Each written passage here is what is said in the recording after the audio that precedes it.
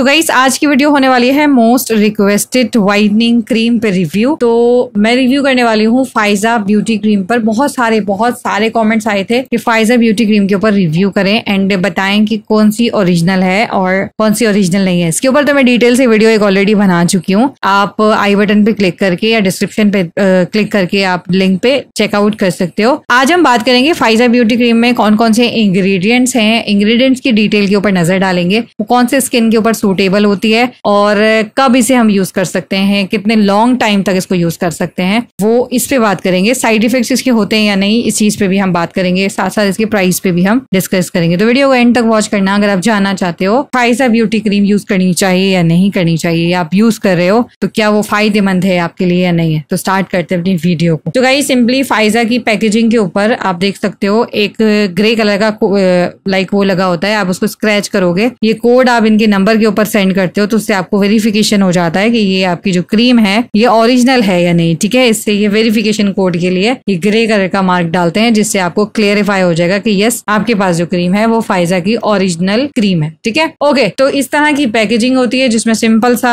Like camera friendly नहीं होती थोड़ी शाइनी शाइनी होती है बट इट्स ओके गारंटेड देते हैं मनी बैक गारंटी कि आपके कलर को गोरा करती करती है। ट्वेंटी फाइव ग्राम्स की क्रीम होती है और um, आप देख सकते हो पूनिया ब्रदर्स वालों की क्रीम है, ठीक है? सिंपली व्हाइटनिंग क्रीम है, वैसे इन्होंने यहाँ पे लिखा है Faiza beauty cream beauty cream ले लो, या फिर आप व्हाइटनिंग क्रीम ले लो। कुछ थोड़े बहुत इंग्रेडिएंट्स का डिफरेंस होता है but ingredients something same same होते हैं। ये क्रीम आप यूज़ करते हो कंपनी आपको क्लेम करती है, ये आपका रंग छह से सात दिनों में गोरा कर देगी। आपकी स्किन पे दाग धब्बे हैं पिगमेंटेशन है, छाइया वगैरह है स्पॉट्स वगैरह है तो वो खत्म कर देगी, ठीक है? और ऐसा ही है, जब भी आप कोई व्हाइटनिंग क्रीम ब्यूटी क्रीम लगाते हो तो उसके अंदर जो इंग्रेडिएंट्स होते हैं, जो केमिकल्स होते हैं ना, उनका काम होता है उस चीज़ को रिमूव करना। बट एक्चुअल में जब आप एक चीज़ को लगाना शुरू करते हो तो फिर आपको उस चीज़ की आदत हो जाती है, ठीक है? अब आपकी स्किन है, आपकी स्किन के ऊपर दाग धब्बे हैं, छाइयाँ है पिगमेंटेशन है। ऑफकोर्स आप चाहते हो आपकी स्किन क्लीन हो जाए, साफ़ हो जाए, एकदम अच्छी हो जाए, ठीक है? अब आपने कोई प्रोडक्ट यूज़ करना शुरू किया है, या आप ऐसा समझ लो कि आपने कोई मेडिकेटेड क्रीम भी ली है। आप जब तक यूज़ करोगे, वो जब तक रहेंगी, आप यूज़ करना छोड़ दोगे, वो आपकी वापस से आ जाएँगे। ऐसा क्यों होता है? ऐसा मैं आपको बताती हूँ। आपकी बॉडी के अंदर कोई ना कोई कमी होगी, आपकी बॉडी के अंदर कोई ना कोई चीज़ की चेंजेस हुई होगी हार्मोन चेंजेस हुआ होगा आयरन की कमी होगी बॉडी के अंदर या कैल्शियम की प्रोटीन की विटामिन की कमी होगी, जिसके कारण हमें पिगमेंटेशन होती है। प्रेगनेंसी के दौरान आपने देखा होगा, या आपने एनालाइज किया होगा आपके घर में किसी खानदान में, आपने देखा होगा प्रेगनेंट वुमेन को स्ट्रेच मार्क्स आ जाते हैं। पिगमेंटेशन बहुत ज़्यादा आ जाता है स्किन बहुत खराब हो जाती है डार्क सर्कल्स हो जाते हैं। तो वो, आप ज़ाहिर सी बात है, एक आप पूरी कंप्लीट ऐसा बोल सकते हैं कि आप एक बच्चे को उसी से बन रहा होता है। आपके प्रोटीन से कैल्शियम से आपकी सारी चीज़ों से बन रहा होता है तो आपके जितने कैल्शियम प्रोटीन होते हैं वो ट्रांसफ़र हो रहे होते हैं ठीक है? तो वो डिवाइड हो रहे होते हैं। फिर वो कमियाँ आपके फेस पे आपकी चीज़ों में नज़र आती है ठीक है? तो आपको उस हिसाब से अपने प्रोटीन्स का अपने um, ऐसा बोल सकते हैं कि आप अपने आयरन का अपनी हेल्थ का अच्छे से ख्याल रखोगे तब जाके वो सही होगा। अगर आप सोचो क्रीमों से सही हो जाएगा तो क्रीम टेम्परेरी इलाज होता है। परमानेंट रघोरा नहीं होता परमानेंट क्लीन नहीं होता। आप अंदर से अपनी जितनी कमियाँ हैं उसको कंप्लीट करने की कोशिश करो विटामिन कम है, प्रोटीन कम है, आपके अंदर आयरन की कमी है, आपके अंदर ब्लड की कमी है, किसी भी चीज़ की कमी है, उसको कंप्लीट कर लो, आपका रंग भी साफ़ हो जाएगा, आपके फेस भी क्लीन हो जाएगा, आपका लाइक आपको किसी क्रीमों की ज़रूरत नहीं पड़ेगी डार्क सर्कल्स भी रिमूव हो जाएँगे। अब हम बात करते हैं इसके इंग्रेडिएंट्स की। तो बेनिफिट्स मैंने आपको सिंपल बता दिया, जब तक आप यूज़ करते हो, जब तक आपको मिलता है, फिर आप इसको यूज़ करना छोड़ दोगे। बेनिफिट्स मिलना बंद हो जाता है, ठीक है? ओके तो सबसे पहला इनका इंग्रेडिएंट है। सबसे पहला इंग्रेडिएंट है इनका अगर आप बॉक्स को पीछे करोगे तो इंग्रेडिएंट लिस्ट पहले ही लिखी हुई होती है।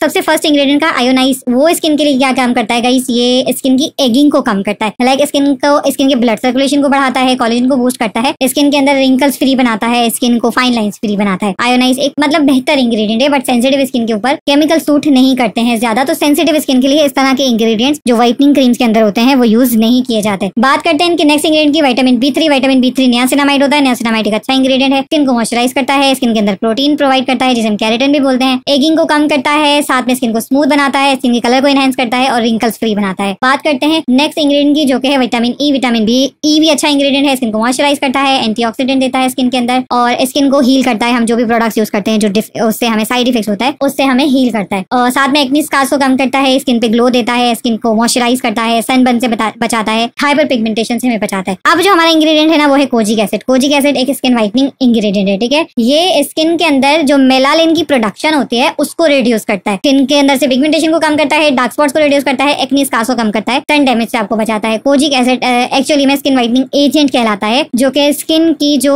डार्क एरिया होते हैं, उनको क्लीन करने का काम करता है। ठीक है? नेक्स्ट इंग्रेडिएंट है हमारा अल्फ़ा आबोटिन ये भी एक स्किन व्हाइटनिंग एजेंट है। ये भी स्किन व्हाइटनिंग के लिए यूज़ किया जाता है। हाइपर पिगमेंटेशन को रिमूव करना इसका काम होता है। स्पॉट्स को रिमूव करना एक्नी स्कार्स को खत्म करना ब्लेमिशेस को खत्म करना और मेलालिन की जो प्रोडक्शन होती है बॉडी के अंदर उसको कम करना। ठीक है? ये भी स्किन व्हाइटनिंग एजेंट होता है। तो दोनों ही इंग्रेडिएंट्स के अंदर शामिल है तो आप सोचें कि तेज़ी से ये रंग को क्लीन करते हैं। दोनों ही इंग्रेडिएंट सेंसिटिव स्किन वाले यूज़ नहीं कर सकते, ठीक है? बात करते हैं विटामिन ए की। विटामिन ए ऑल्सो अच्छा इंग्रेडिएंट है एक्नी है एक्नी को कम करता है कॉलेजन को प्रोड्यूस करता है स्किन को हील करता है स्मूथिंग प्रोवाइड करता है रिंकल्स फ्री बनाता है स्किन को ब्राइट करता है हेल्थी बनाता है। विटामिन ई तो नॉर्मल विटामिन ए तो ऑलरेडी अच्छा इंग्रेडिएंट ठीक है? बात करते हैं नेक्स्ट इंग्रेडिएंट की, जो है विटामिन बी ये भी अच्छा है फाइन लाइन्स को कम करता है, साथ में इन्फ्लामेशन को खत्म करता है स्किन से सिबम्स होते हैं, उनको कंट्रोल करता है ऑयल प्रोडक्शन को कंट्रोल करता है हाइपर पिगमेंटेशन को कम करता है स्किन को ब्राइट करता है। स्किन को हेल्थी और ब्राइट स्किन बनाता है, ठीक है? बात करते हैं नेक्स्ट इंग्रेडिएंट की, जो है सिट्रिक एसिड सिट्रिक एसिड क्या करता है? स्किन के अंदर एक एंटीऑक्सीडेंट प्रोवाइड करता है। साथ में आपके स्किन के स्किन को एक्सफोलिएट करता है स्किन को सॉफ्ट स्मूथ बनाता है। एज अ मॉइस्चराइजर की तरह काम करता है और पोर्स को भी क्लीन करता है। डेड लेयर को रिमूव करता है। नेक्स्ट इंग्रेडिएंट है व्हाइट ऑयल व्हाइट ऑयल बहुत सारी चीज़ों से लिया जाता है। ऑयल के अंदर क्रीम्स के अंदर लोशन के अंदर मेकअप के बहुत सारे प्रोडक्ट्स होते हैं। मेकअप रिमूवर वगैरह में। इसको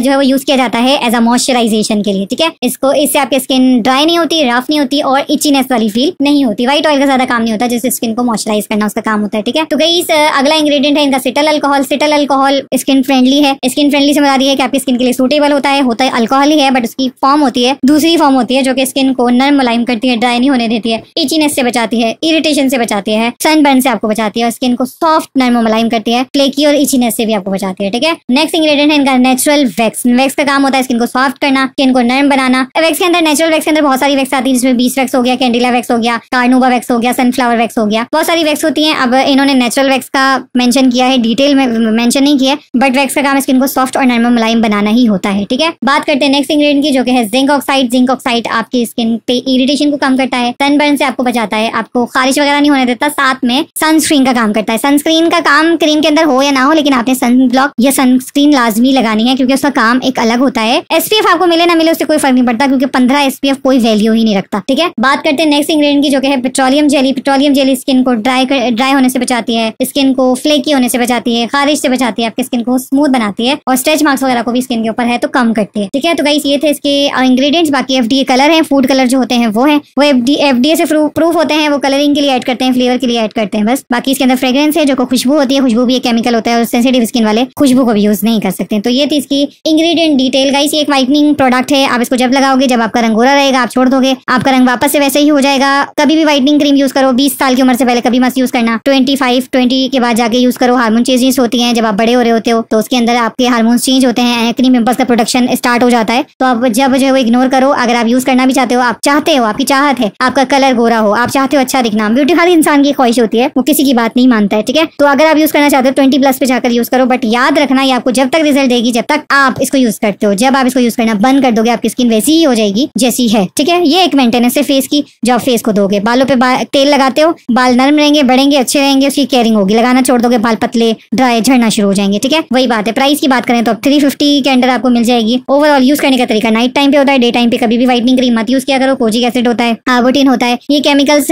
डे टाइम पे आपकी स्किन के ऊपर खारिश कर सकते हैं आपकी स्किन को जला जला महसूस करवा सकते हैं। आपको बहुत सन के अंदर इरिटेशन वगैरह होगी हमेशा रात में यूज़ करो। नाइट टाइम पे लगाकर सो और सुबह में उठ के फेस वॉश कर सकते हो। मेरी तरफ़ से सजेस्ट नहीं की हुई है ना मैं आपको रिकमेंड कर रही हूँ। व्हाइटनिंग क्रीम मैं आपको कभी सजेस्ट नहीं करती हूँ। यूज़ करना चाहते हो हैंड्स पे कर लो हैंड व्हाइटनिंग के लिए अच्छी होती है। फीट्स पे यूज़ कर लो स्किन लेयर मोटी होती है उसकी तो उसके लिए अच्छी होती है। फेस के ऊपर मैं कभी सजेस्ट नहीं करती हूँ बिकॉज़ व्हाइटनिंग क्रीम आप तो जब तक ही रंग देंगी फेयर करेंगी, जब तक आप उसे यूज़ करोगे, लगाना छोड़ दोगे, वैसे के वैसे हो जाओगे। देन गाइस आई होप आपको रिव्यू पसंद आया होगा। रिव्यू अच्छा लगे तो प्लीज़ एक लाइक कर देना, आपका एक लाइक हमें बहुत सपोर्ट करता है, हमें मोटिवेट करता है इस तरह की इन्फॉर्मेशन वाली वीडियोस को लाने के लिए। मैं बहुत सारी वीडियोस लाने वाली हूँ। बहुत टाइम के बाद मैं लाइक कंटेंट के ऊपर फोकस कर रही हूँ क्योंकि कुछ टाइम से मैं बीमार भी थी। ठीक है, अभी मैं अच्छे से फोकस करूँगी तो कमेंट सेक्शन में बता सकते हो आप कोई रिव्यू करवाना चाहते हो। लाइक करना मत भूलना मिलूँगी नेक्स्ट वीडियो में। अल्लाह हाफिज।